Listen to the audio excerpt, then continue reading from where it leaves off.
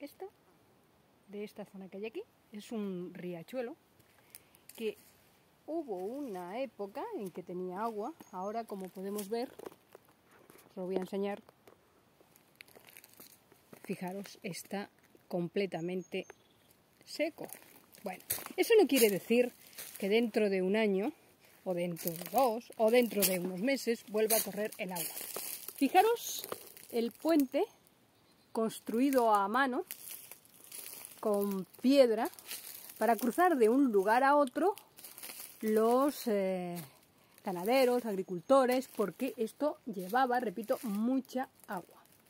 Fijaros, tiene dos ojos, sea que como veis es bastante grande.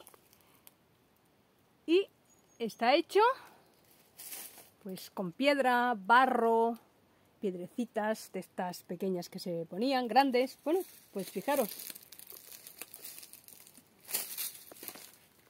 Y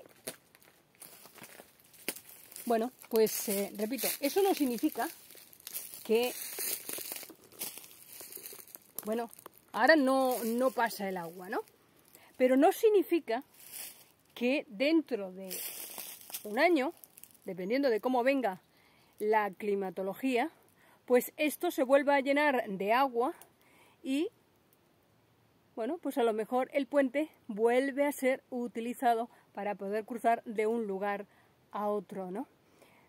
Nunca se sabe, ¿no? Recuerden ustedes que por sitios donde ha tardado mucho tiempo en llover y que no había riachuelos, luego posteriormente ha llovido y esos riachuelos se han convertido en caudales con muchísima agua, causando muchos problemas. Pues os dejo la imagen.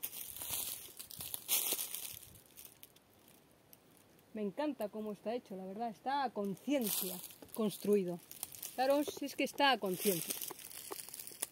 Esto resistirá, vaya usted a saber cuánto tiempo, cuántos años más. Una maravilla.